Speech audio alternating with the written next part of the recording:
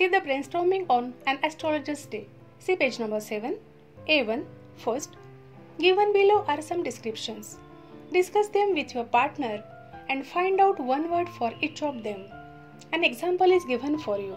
The scientific study of the universe and the objects in it, including stars, planets, nebulae and galaxies. याला काय म्हणतात astronomy be the study of the movements of the planets sun moon and stars in the belief that these movements can have an influence on people's lives. काय म्हणतात त्याला astrology और cosmology see a prediction of what will happen in the future.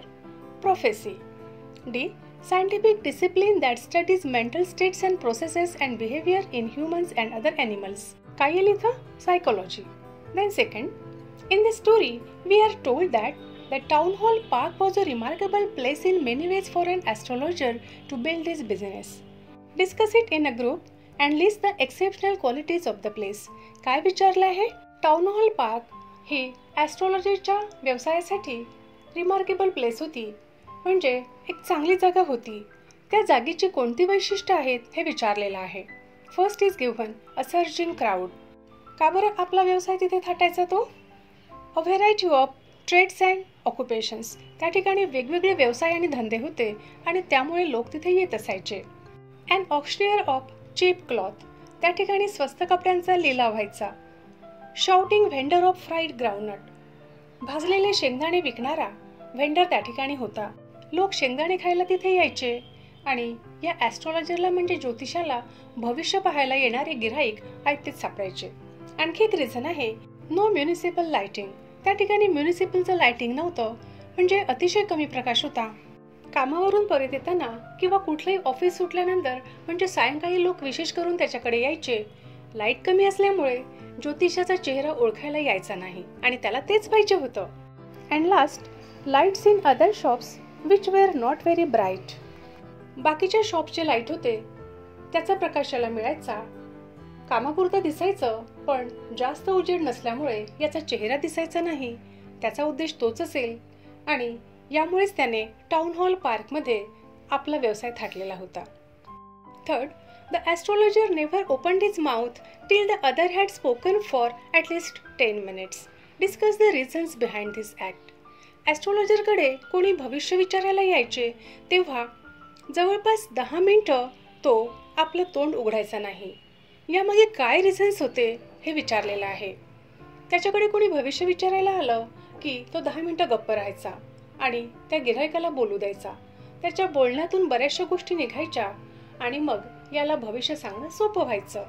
कोणते reasons आहेत बघा? First he is good at reading the people हे दिलेलं आहे. Next it provided him enough information about the customer next he could give answers and advice to the customers with that information it made him reach people's hearts त्याने सांगितलेल्या लोकांच्या मनाला भिडायचं कारण त्याच्यातली बरीचशी माहिती त्या कस्टमरनेच सांगितलेली असायची. आणि मग त्या माहितीचा आधार घेऊन हा लोकांना भविष्य सांगायचा लोकांना वाटायचं हा तर आपल्याला बरोबर सांगतो आहे. They thought that he is the person whom they can share their problems आणि तो दहा मिनटं गप्प बसायचा लोकांचे प्रॉब्लेम्स ऐकून घ्यायचा. त्यामुळे लोकांना वाटायचं की ही अशी व्यक्ती आहे ज्याच्याजवळ आपले प्रॉब्लेम्स आपण शेअर करू शकतो. लोकांची ही मेंटॅलिटी त्याला माहीत होती. तर असे चार कारणं दिले आहे. ज्यामुळे ॲस्ट्रॉलॉजर गिरायकांचं ऐकून घ्यायचा आणि दहा मिनटापर्यंत काहीच बोलायचं नाही तोंडसुद्धा उघडायचं नाही. Then A to the tactics use by the astrology to earn his wages are he activity English आणि मराठीच्या व्हिडिओमध्ये डिटेल घेतलेली आहे. लिंक्स बघा डिस्क्रिप्शन बॉक्समध्ये second and astrology's appearance helps to create an impression on his clients complete the following हीच activity आपण व्हिडिओतसुद्धा घेतलेली आहे. वेगळ्या प्रकारे. या ठिकाणी पॉईंटच्या फॉर्ममध्ये दिलेली आहे. कशी लिहाल बघा. A the turban on his head B eye sparkling with sharp abnormal gleam C forehead resplendent with ash and vermilion. याला तुम्ही पेंटेड फोरहेड असं लिहू शकता. किंवा ash and vermilion on his forehead असंही लिहू शकता.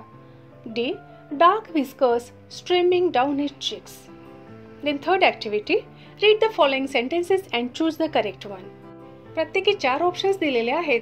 तुम्हाला करेक्ट ऑप्शन निवडायचा आहे. A the astrologer says that if Nayak leaves his village again he would ॲस्ट्रॉलॉजरने नायकला काय सांगितलं? जर त्यांनी पुन्हा आपलं गाव सोडलं तर काय होईल? याच्यातला करेक्ट ऑप्शन आहे face danger B according to the narrator the astrologist success in his profession is primarily due to his understanding of people काय अर्थ आहे या वाक्याचा? ॲस्ट्रॉलॉजीच्या प्रोफेशनमधलं सक्सेस नेमकं कशामुळे होतं? हिज अंडरस्टँडिंग ऑफ पीपल लोकांना तो समजून घ्यायचा त्यामुळे होतं. C the story suggest that the astrologist comments and observations please people by flattering them or supporting their own views कस्टमर्सनी सांगितलेली माहिती असायची त्यांचे व्ह्यूज असायचे त्यांना तो सपोर्ट करायचा. आणि म्हणून ॲस्ट्रॉलॉजरचे म्हणजे ज्योतिषाचे कमेंट्स आणि ऑब्झर्वेशन्स लोकांना आवडायचे. D Gurunayak consults the the because he he to get the answer to a specific question Gurunayak Guru सल्ला घ्यायला कशासाठी आला होता? कारण त्याला एका विशिष्ट प्रश्नाचं उत्तर पाहिजे होतं. E Gurunayak is looking for the man who try to kill him to take revenge take revenge means बदला घेणे. गुरुनायकला ज्या माणसाने मारण्याचा प्रयत्न केला होता त्याला तो का बरं शोधत होता? कारण त्याला त्याचा बदला घ्यायचा होता. The next the astrologer's remark makes Gurunayak feel all of the following except except दिलेल्या वाक्याचा अर्थ काय आहे बघा? ॲस्ट्रॉलॉजरने जो रिमार्क दिला त्यावर गुरुनायकला दिलेल्या पर्यायापैकी काय वाटलं नाही? फर्स्ट ऑप्शन रिलीव्ड त्याला सुटल्यासारखं वाटलं कारण एवढ्या दिवसापासून आपल्याला मारणाऱ्या माणसाचा तो शोध घेत होता. पण आपल्याला मारणारा माणूस ट्रकच्या खाली येऊन आधीच मेलेला आहे हे त्याला समजलं. आणि आता त्याला त्याचा शोध घ्यायची गरज नव्हती.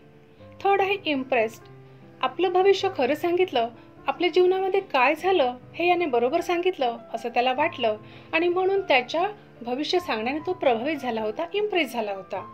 देन डिसअपॉइंटेड आपल्याला मारणाऱ्या माणसाचा त्याला बदला घ्यायचा होता पण तो माणूस तर आधीच मेला असं त्याला कळलं. आणि म्हणून तो डिसअपॉइंटेड म्हणजे निराश झाला. याच्यातला सेकंड ऑप्शन आहे सस्पिशियस म्हणजे त्याला संशय आला नाही. ॲस्ट्रॉलॉजरवर संशयसुद्धा आला नाही की आपल्याला मारणारा माणूस हाच आहे हे त्यानं ओळखलं नाही कारण ॲस्ट्रॉलॉजरचं अपिअरन्स त्याला मारणाऱ्या माणसासारखं नव्हतं तर टिपिकल ॲस्ट्रॉलॉजरसारखं दिसत होतं. त्या वेशामध्ये त्याने म्हणजे गुरुनायकने ॲस्ट्रॉलॉजरला ओळखलंच नाही की आपल्याला मारणारा माणूस हाच आहे. आणि म्हणून याच्यामध्ये ऑप्शन आहे second suspicious. Then last reactions of the astrologer's wife to his news suggest that she was unaware of his past ॲस्ट्रॉलॉजरने घरी येऊन आपल्या बायकोला सगळी गोष्ट सांगितली त्यावेळी तिचं ते रिॲक्शन झालं त्यावरून आपल्याला काय कळतं? की तिला त्याचं पास्ट माहीत नव्हतं. Then fourth read the following sentences and find out true and false sentences correct the false sentences true की फॉल्स आहे ते सांगायचं आहे. आणि एखादं स्टेटमेंट फॉल्स असेल तर तुम्हाला त्याला करेक्ट करायचं आहे म्हणजे बरोबर करायचं आहे. A the astrologer gave a correct prediction to the client about its past that he was stabbed thrown into a well and left for dead अर्थ बघा ॲस्ट्रॉलॉजरने त्या गिरायकाला भविष्य सांगितलं की त्याच्या पोटामध्ये आधी चुरा खुपसला आणि त्याला विहिरीमध्ये टाकून दिलं. हे ट्रू स्टेटमेंट आहे. B when the astrologer came to know that the man whom me killed is alive he felt that he was relieved of his guilt the statement is true आपण ज्या व्यक्तीला मारायचा प्रयत्न केलेला होता तो जिवंत आहे हे ॲस्ट्रॉलॉजरला कळलं तेव्हा त्याच्या मनातील अपराधी भावना गेली आणि त्याला सुटल्यासारखं वाटलं. हे ट्रू आहे. C the astrologer tried to back out of the deal and talked about the client's past this is false याचं करेक्ट स्टेटमेंट काय आहे? The astrologer demanded more money and told about the client's past then D the astrologer rescued himself from Gurunayak's Nayak's true True. ॲस्ट्रॉलॉजरने गुरु नायकचं जे भविष्य सांगितलं की तुला मारण्याचा प्रयत्न करणारा माणूस केव्हाच मेला? तर यामुळे ॲस्ट्रॉलॉजरने स्वतःची सुटका करून घेतली. कारण आता गुरुनायक यापुढे कधीच त्याचा शोध घ्यायला येणार नव्हता. This is true statement then last the moral of the story is that we must be responsible about what we have done and should not run away from our mistakes this is true आपण जे काही करतो त्याबद्दल responsible असलं पाहिजे. आणि आपल्या चुकांपासून आपण दूर पडण्याचा प्रयत्न करू नये हे या स्टोरीचं मॉरल आहे. तर हे ट्रू स्टेटमेंट आहे. Next activity the astrologer has change his appearance and his persona when he arrive in the city give specific reasons काय विचारलं या ठिकाणी? ॲस्ट्रॉलॉजर जेव्हा सिटीमध्ये आला तेव्हा त्यांनी आपलं व्यक्तिमत्व आपली राहणी पूर्ण बदलून टाकलं होतं. याची काय कारण आहेत ते सांगायचं आहे. ॲस्ट्रॉलॉजर जेव्हा खेड्यात राहत होता तेव्हा त्याने एका माणसाला मारण्याचा प्रयत्न केलेला होता. तो आपला बदला घेईल या भीतीने ॲस्ट्रॉलॉजरने ते खेडं सोडलेलं होतं. भविष्यातही कधी त्या व्यक्तीने आपल्याला ओळखू नये म्हणून त्याने आपला पेहराव पूर्ण बदलून टाकला होता. त्याने ॲस्ट्रॉलॉजरचा व्यवसाय सुरू केला. त्या अपिअरन्समुळे त्याला कोणी ओळखू शकणार नव्हतं आणि त्याच्या पोटापाण्याची सुद्धा सोय झाली. कसं लिहिणार आहे answer? When the astrologer was young in his rate of anger He had quarrelled Guru Nanak and tried to kill him. But Guru Nanak was saved by a passerby. The astrologer left that village because he had the fear that Guru Nanak would take revenge on him. Also, he wanted something to earn his livelihood.